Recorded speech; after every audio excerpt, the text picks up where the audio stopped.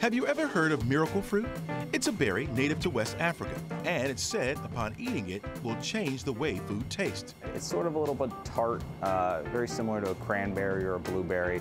Um, when you eat it, you basically want to eat it, let the flesh and the skin coat all of your mouth and your tongue and your taste buds. Um, and then you spit the seed out and wait about 30 seconds for its effects to take, take effect. Here's the science behind the berry.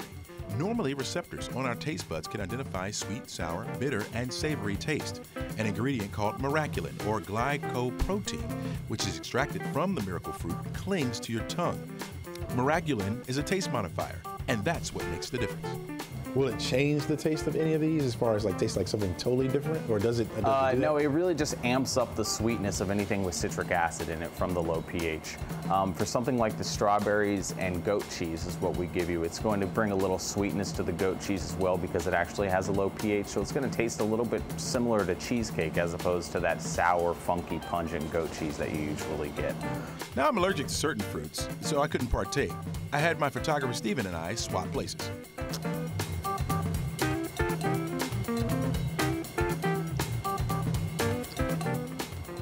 Little sweeter, definitely.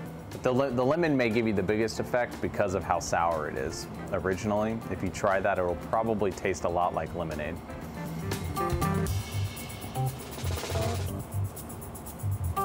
Yeah, definitely.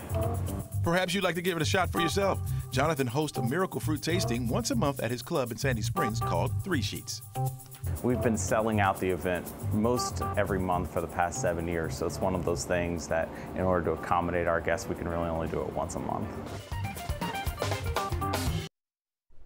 Hey, that's impressive. You can eat a whole lemon and not get that reaction. Nice.